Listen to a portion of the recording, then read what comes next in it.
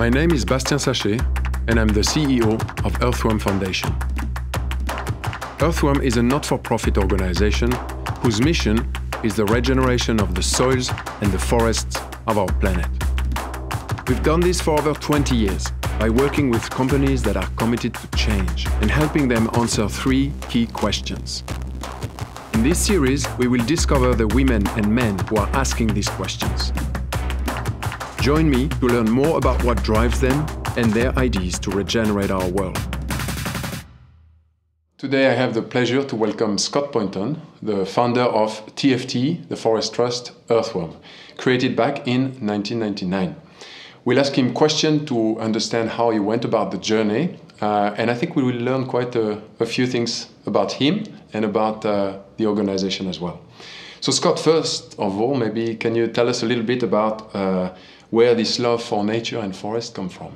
Yeah, thanks, Bastien. Thanks for inviting me to speak to you and uh, and all the people who are watching. And um, well, I was very lucky. I think I grew up in rural Australia, um, not far from Melbourne, and uh, I was very lucky in a sense that my parents were very happy to let me run wild out in this place, and so I was constantly with nature.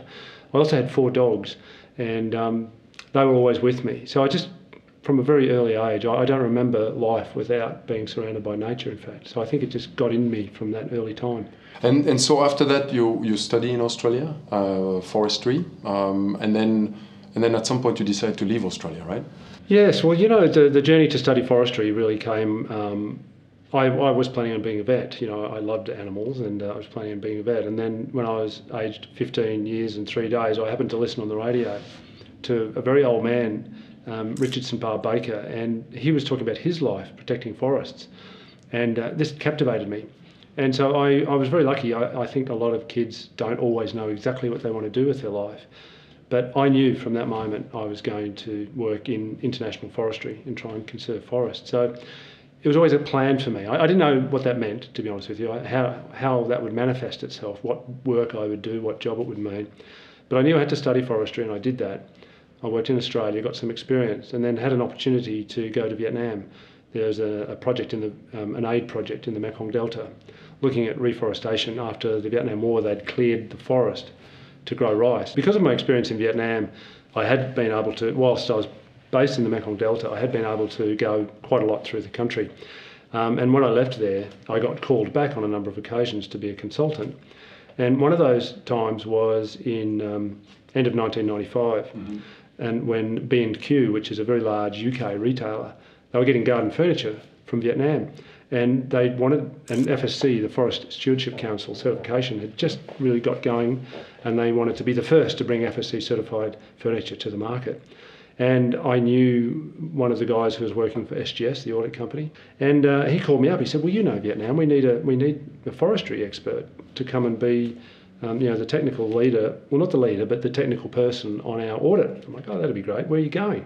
Oh, Ma Da Forest Enterprise. I'm like, well, I've been to Ma Da Forest Enterprise and there's no trees there. Mm-hmm. What do you mean? I said, well, it all got sprayed by Agent Orange during the war. So all of the big forest trees were gone, and not to mention the bombing and everything that happened there. Because what was happening was the garden furniture factory in Saigon was getting its wood from Ma Da Forest Enterprise, mm-hmm. but there was a sawmill there. And so what was happening was the logs were being, and we went to the sawmill, and here were these beautiful, massive logs that were being um, shipped is the wrong word, barged. So put on barges in Cambodia and brought down the rivers and canals to Ma Da Forest Enterprise. So all of this wood was coming from Cambodia. So how do you, how, what did you do then that, that yeah, changed? So, so it was a bit of a nervous breakdown moment for them and they said, right, you know, okay, well, we've got to cancel all the orders. And I'm like, well, hold on. There's 2,000 people working in that factory in Ho Chi Minh City. You're about 80% of their business. What's going to happen if you just cancel your orders? Um, look, there's other forests in Vietnam that aren't badly managed, they're not certified, but they could become certified if, if, if we got in there and gave them some support. So why don't you get your logs from there? Like, oh, we never thought about that. So, okay, let's talk to the furniture factory and see if we can find a forest enterprise in Vietnam. So this became, you know, what I would call the TFT model, which was build a supply chain um, from the retailer at one end um, through to the supplying factory out to the raw material source, keep it secure, make it secure so that other logs and timber can't come in. Um, but then work on the forest source to help it get better managed, give it some technical assistance. So um, we could get it certified in the future. How, how was it? Because I guess you, you started with seven companies. So you had to go around and, and convince them to invest a significant amount of money in a, a retail industry that was not very used to invest in its upstream supply chain at the time. Yeah, well, I think, you know, it was an ecosystem of change, I like to think about it. You know, I played a role, but there were other actors in the game, and the NGOs had done a terrific job in creating that tension where the it was a lucrative garden furniture market, and the NGOs had created such a storm when they found out. I found out about the Cambodian wood in December 1995 yeah.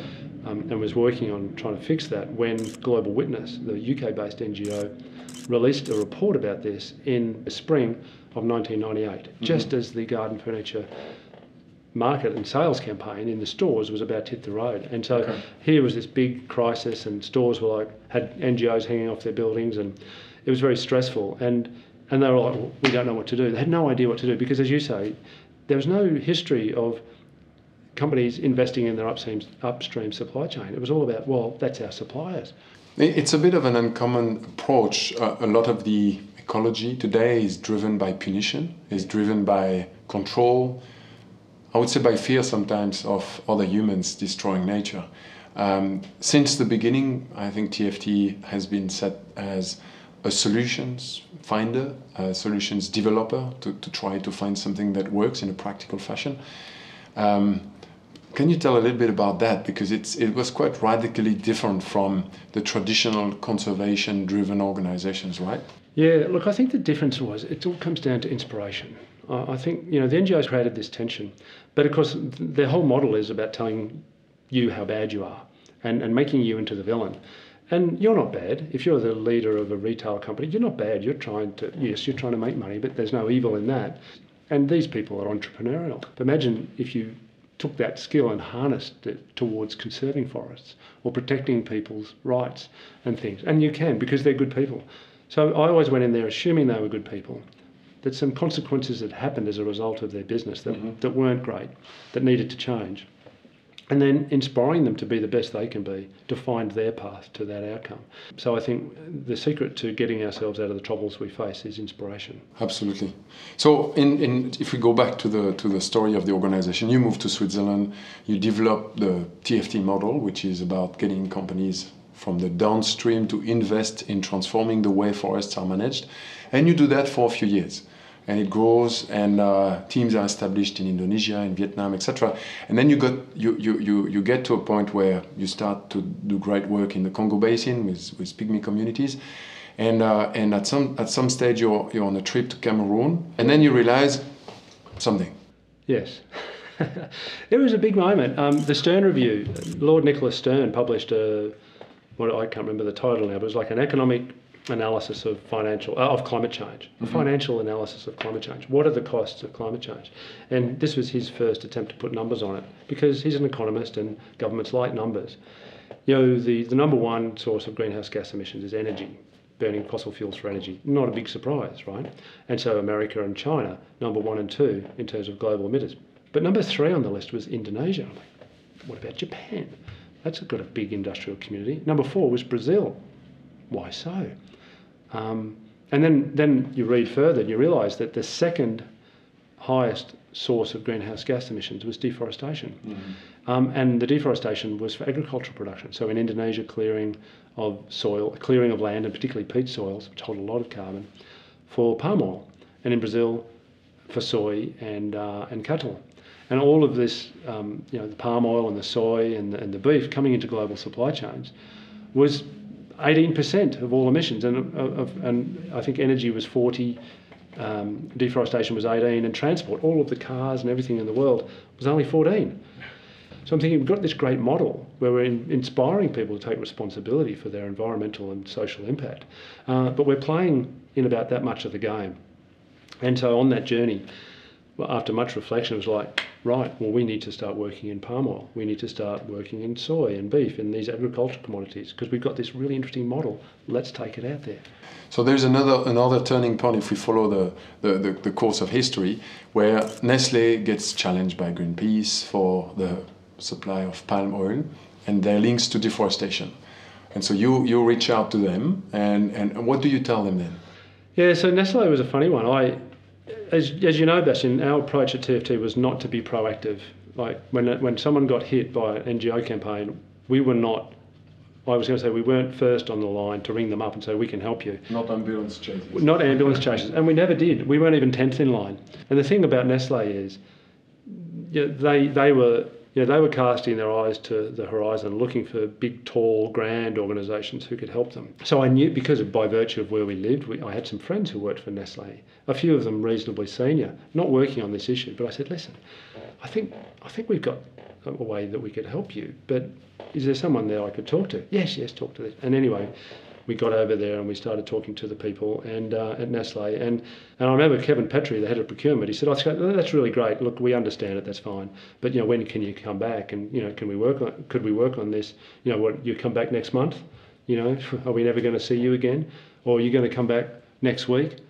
Could you come back tomorrow? I said, well, we'll be back tomorrow. It's 45 minutes down the train line. He's like, really? I said, yeah you know, and so then became a, a, relationship. Then you've, you know, you've recently celebrated 10 years of this relationship, and as a result of that relationship, and came up with the world's first no deforestation commitment. I, I wanted to to ask you a question, two questions. One is when you look back at the past 30 years of, of your career, what would you have done differently? You know, it is what it is, and and I, I don't look back with regrets on anything. I'm so glad that I didn't drop dead. Um, I would have been very upset with that. Um, but I think I've learnt a lot, and and through that journey, you know, when I now talk to CEOs and um, well, just people that I'm supporting, I'm able to share my experience. And you know, it's one thing to say, oh, if you if you behave like this, you'll get burnout. It's another thing to say, well, I behaved like that, and I got a really bad burnout. I could have died. You went through it. I've been there and I'm trying to help you avoid that. Not just for you, but for all the people who work for you. And if you can get them up above that that stage, what great things can we achieve in the world? Because the world's not in a great place and we do need people to be the best they can be. And a big part of that is that overall sense of well-being. Maybe, uh, and the second question is, is to our young audience who's, you know, they've got their career ahead of them. What, what advice would you give them if there was one thing that you'd like to tell them? Yeah, like be true to who you are. It's that simple. Be true to who you are. But but there may be a little bit of work needed to find that. Like, you know, when I was doing the work early years with TFT, I'd never set up a business before. I was like, there's an edge right there. But well, you're in it. So you better get on and you better learn. Um, and of course, that's when you cross those thresholds, you learn so much more about yourself. And when you've got a, you know, as a CEO, I had to fire someone. It's like, man, he's got kids and you know, geez, but he's, he's not doing the job that we needed. And I'd worked very hard to try and help him do that.